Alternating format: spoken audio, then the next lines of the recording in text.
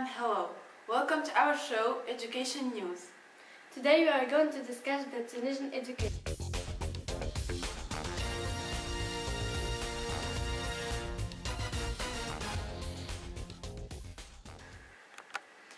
Tunisian education has rapidly developed after the country uh, became independent. Before 1958, uh, only a, a privileged minority of 14% of the total population enjoyed the benefit of Tunisian education. Today, education in Tunisia has become one of the major concerns go- uh, at govern- uh, of government as well as the society at large. Since 1991, it has been made compulsory that all children aged from 6 to 16 must go under basic education training. Language is given an extremely high priority. Children are, bro- uh, are brought up to speak uh, Tunisian Arabic. When they enter school at 5, they are taught in, uh, in classic Arabic. From the age of 8, they are taught French while English is introduced at the age of 10. And now we're going to talk about the structure of Tunisian education. The basic structure of uh, Tunisian education can be categorized as primary education, secondary education, and higher education. First of all, we are going to speak about uh, the primary education. Uh, the primary education is a system that includes primary grades from 1 to 6 and preparatory grades from 7 to 9.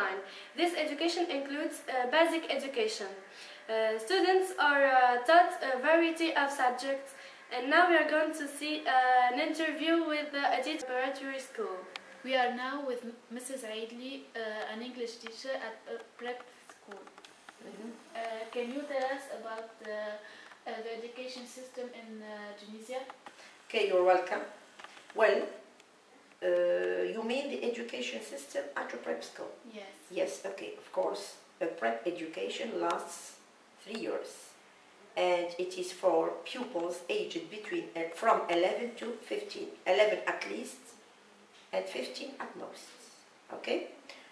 Uh, right, problems, pupils at this level face lots of problems since they are still young, so they have heavy timetables, uh, school violence, uh, heavy programs, heavy curriculums.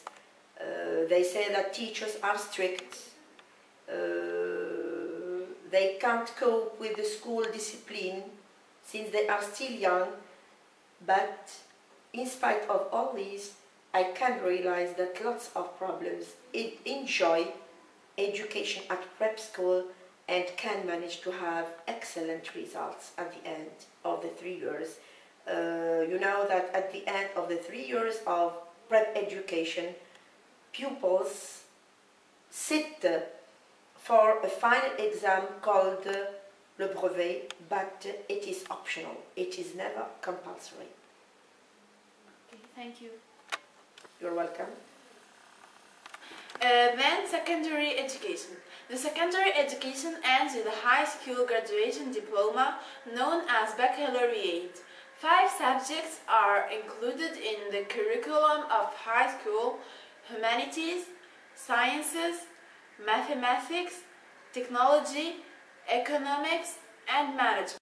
For this, uh, we chose uh, we chose the Ariana Pioneer Secondary School, and uh, now let's watch. Uh, Ariana Pioneer Secondary School is one of the best secondary schools in Tunisia. Pupils always have fun while the breaks, but some of them see that the system of education in Tunisia needs more effort from the government to make it better. I think that uh, the Tunisian system of education is better than uh, many other systems. But the problem is that uh, it isn't very interesting. So we have a lot, a lot of uh, subject to, to do, uh, but uh, at the same time we haven't uh, uh, time for activities, sports, etc.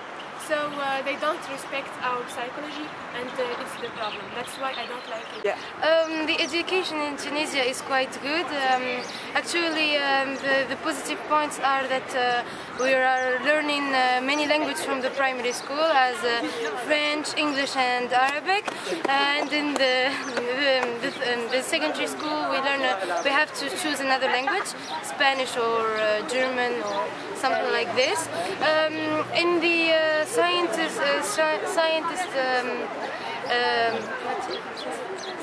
subjects uh, we try to do a lot of experience uh, and um, the that's why we we can uh, learn uh, better than uh, the other uh, countries. education. Currently, there are 13 public universities located all over the country. There are several private universities too. There are nearly 162 higher education institutions in Tunisia. And now let's say welcome to our guest. Uh, uh, can you please tell us about the, the system of education at universities?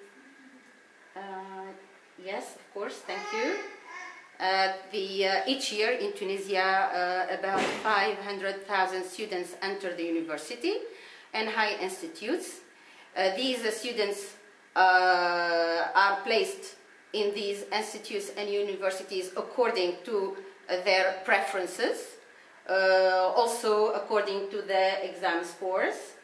Uh, also uh, according to the quota set for each field of study and institutions. Uh, there is a wide range of uh, fields of study, right? There is uh, uh, arts, uh, sciences, economics, uh, engineering, architecture, medicine, uh, a big range of fields of study. As a result of recent reforms, universities now offer degrees that correspond to the European degree system as defined by the Bologna Agreement. We have bachelor's, master's, and doctoral degrees. Like the bachelor degree then takes three years. The master's, uh, research master's, two years, and the doctorate, three years. Of course, as each year a big number of, uh, of students are admitted to the university, a big number of them leaves the university looking for jobs. Unfortunately, the number of unemployed students remain high despite the big effort made by the private as well as the public sector. This is uh, in great part at the origin of the Tunisian revolution. Yes. Okay, thank you. Thank you so much. You are welcome. My pleasure.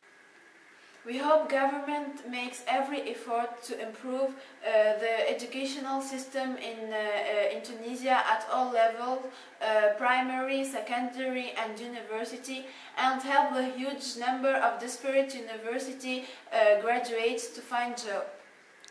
See you next week. Okay. Thank you.